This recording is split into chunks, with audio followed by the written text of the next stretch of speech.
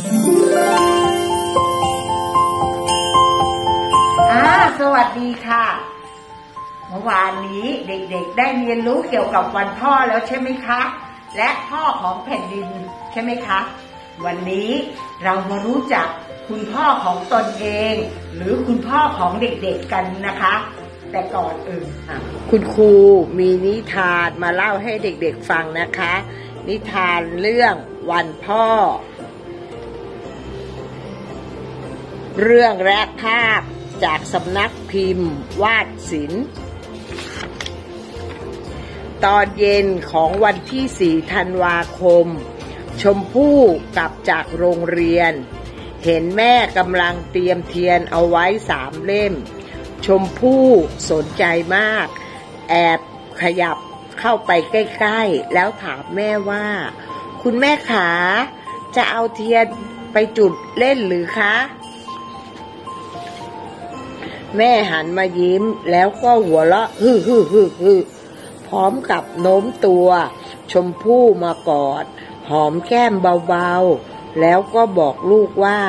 วันนี้ที่หน้าหมู่บ้านของเรา มีพิธีจุดเทียนชัยถวายพระพร ให้กับในหลวง เนื่องในวันคล้ายวันประสูติของท่าน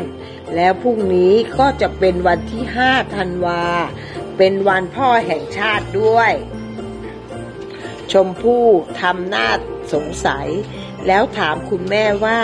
ทำไมต้องมีวันพ่อล่ะคะคุณแม่ แล้ววันอื่นๆล่ะคะ แม่ยิ้มแล้วบอกว่า จริงๆแล้วก็มีทุกวันละจ้าแต่ว่าวันสำคัญที่ที่ทุกๆคนยอมรับกัน มีเพียงไม่กี่วัน อย่างเช่น วันพ่อเป็นวันที่สำคัญอีกวันหนึ่งนะจ๊ะ แล้ววันพ่อสำคัญตรงไหนล่ะคะ ชมพู่ถามด้วยความสงสัย ภาษาอยากรู้ แม่ก็เลยเล่าให้ฟังว่า วันพ่อก็คือวันที่ทุกๆคนรำลึกและยกย่องให้เกียรติกับคุณพ่อ คือ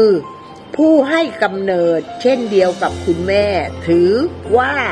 เป็นผู้มีพระคุณเหมือนกับคุณแม่ด้วยแหละคุณพ่อเป็นสามีของคุณแม่ เป็นหัวหน้าครอบครัว พ่อต้องทำหน้าที่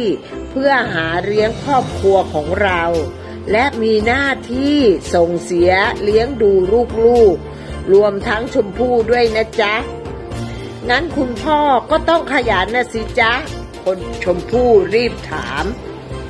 คุณแม่บอกว่าใช่จ้า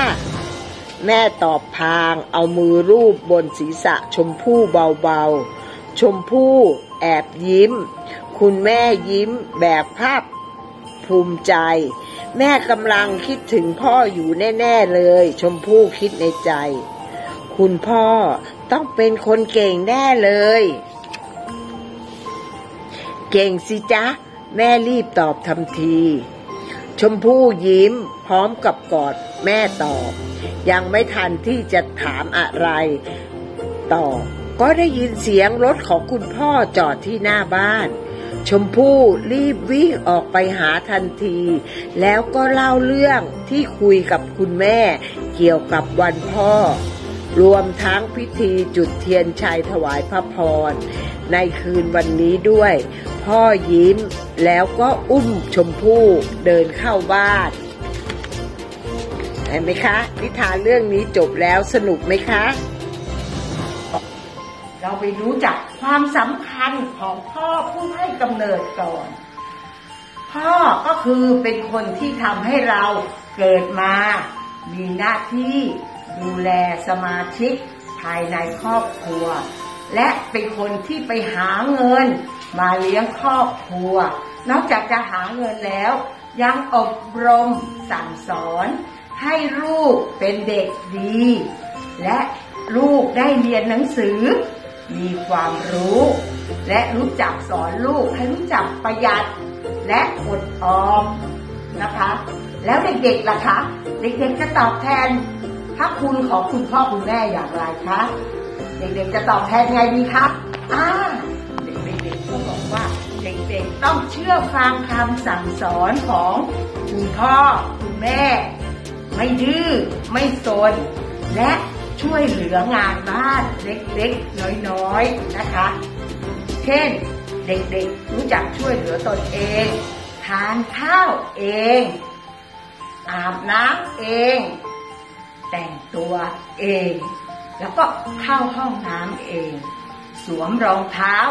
เองนะคะ แล้วเวลาเด็กๆเล่นของเล่นแล้ว เด็กๆก็ต้องรู้จักเก็บของเล่น ให้เข้าที่ให้เป็นระเบียบเรียบร้อยด้วยนะคะ